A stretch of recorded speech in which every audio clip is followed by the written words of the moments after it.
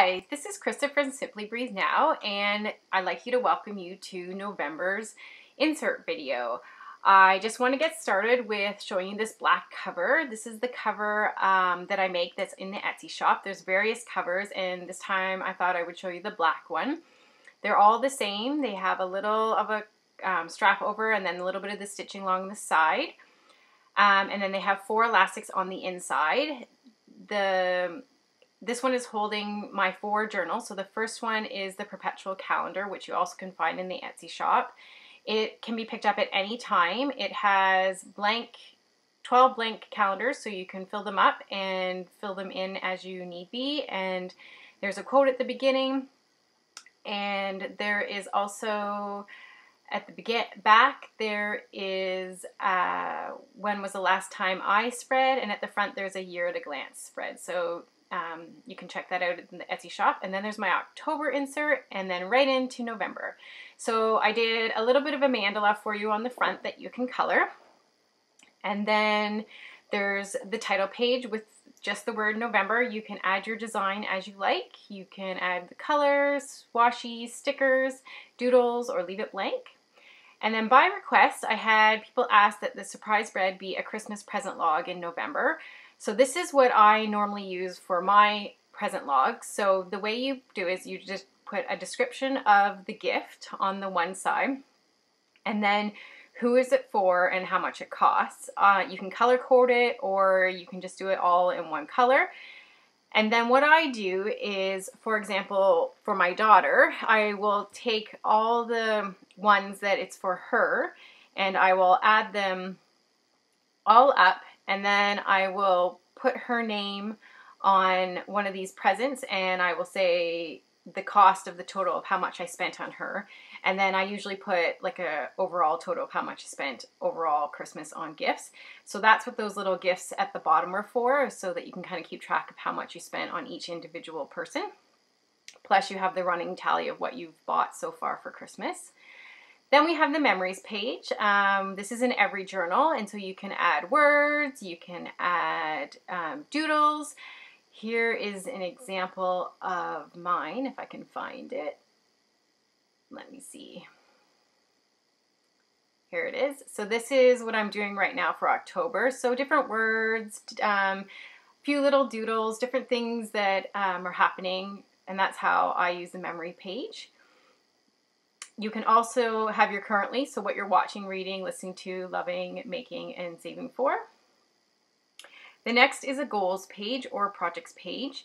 And the way this works is that you put your projects or your goals here along the left, and then you break them up into the different weeks. And the way I do it is that I put my projects in at the end. You don't necessarily have to finish them all in one month, but um, the first week on the Sunday when I plan, I would kind of break down what I was going to do on that first week. And then the following Sunday, I would relook at it and I would say, okay, this is what I've accomplished and this is what I would like to accomplish. And so then that was would be what I put into the second week. And then I would work along as the month went on. There's a space for doodles, coloring, um, quotes, again, notes at the side. This is the November calendar. It's a little different this month. I don't know why I thought I'd change it up, but I did. Um, hope you like it, and there's a place for notes. Then we have the habit tracker. So the way the habit tracker is, you, work, you write the days of the week along the top on both lines, and then you write what you would like to track along the side. So tracking can be anything that you want. It can be things like how much water you drink, what time you go to bed, what time you get up, how many steps you have, um, it can be about personal development, how many books you read, or it can be anything you want. You can track things that you want to know more about, or you can track things that um, you want to do more of. You so what you do is you write what you're tracking along the side here, and then on the first day of the month, you say, okay, did I do this? And then you would check the box, color the box, cross the box, however you like. If you would like to know how to do a Zentangle, I do have a whole video on Zentangling your habit tracker and I will post the link below so that you can have that. Um, but you, you can decide how you use your habit tracker however you would like. And then down here at the bottom, you have your sleep tracker, um, and then a space for doodles or quotes or coloring or whatever you would like to put there. Next we have the gratitude log and you can use this as you like. So there's two lines. You can either write as many things you are grateful for in the two lines or you can just write two things. There's a space down here at the bottom for any quotes or doodles or anything. Um, research shows that when you are writing down things that you're grateful for, your overall outlook on life does improve and it changes you actually to the cellular level. So gratitude is a great habit to get into. The next is the mood tracker, and I hope you enjoyed this one. This is Falling Leaves. I live in Ontario in Canada, so um, it's very common in November to see falling leaves. So the way this works is you put your moods down the side and you would associate a color with them. And then you would find the number one for the first day on here. Where is it? Oh, there it is. Okay, so then you would figure out what mood you were and you would color it associated with the mood. I would use colors like reds, oranges, yellows, browns, greens, different things like that, like what the falling leaves in autumn would look like so that it would be absolutely beautiful when it was done.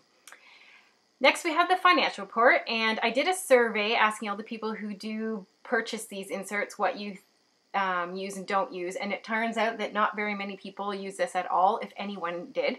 So it will be coming out in 2019. You won't see this anymore. But if you are interested, the way it works is you just input your income, your expenses, and then work out your monthly cash flow. And then you would do your assets and your liabilities. And then that would be able to tell you your net worth. Then you have a blank page for any spreads that you would like. And then we have five weekly daily hybrids. Um, so this is where bullet journaling really starts to um, come out. So you use your key. Oh, sorry, this has come unstuck. Let me use my washi tape and put it back on. There we go. So Ryder Carroll is the um, creator of bullet journaling, and I will link his video below. And he, this is his key that um, I use. I don't change it. I found it very helpful and useful, so that's what I use. And this is what makes bullet journaling happen, is the key. So you have your days of the week and you add the numbers of the week. And if you like, you can add the weather. I'll try to get you um, mine. So this is my current week that I'm working on. So I use that space for my weekly date and the focus. The menu is in this spread and then I use the, the bottom space for errands because I like to have what my weekly errands are. And then you go and you put in your tasks. So that's where the key comes in. So every item that you want to do, you put a dot for a task. And then if it's an event, it would have a circle, which is time related. So you would have a time related to the event. At the end of the time period, you would go back, and if you completed anything, you would put an X through it. If it was something that you didn't complete but felt you still needed to do, you would migrate it forward so you'd have an arrow to the right. And um, you would put it into the next day. You would actually write it into the next day. Or if you were done at the end of the week, you might put it on your to do list or you might put it into the following week's list. Rescheduling is something that you want to do, but it's not following within the time period. So you would write it on your to do list and it would be reschedule such and such so that you know it was still an unopened task. If it's no longer relevant, you just put a line through it, and if it's a note, you have you initiate that with a dash. So at the end of your week, you would have everything, um, everything would be done, and there would be reflection to say this is important versus this is not important. So everything is moving forward, and you're choosing things in your life that you want to do. Ryder Carroll does build in that you rewrite things over and over again, and that is intentional so that you write things that are important to you and your life. So there are five of those, um, and then right after them, there's all the to-do lists. You also have your waiting on and your on your horizon list. Your waiting on list is your things that you're waiting on, like orders or people to get back to you. Your on horizon list is anything that's in the future that doesn't really fall within this month or this time period, but you want to kind of keep it in mind that there's some things to think about.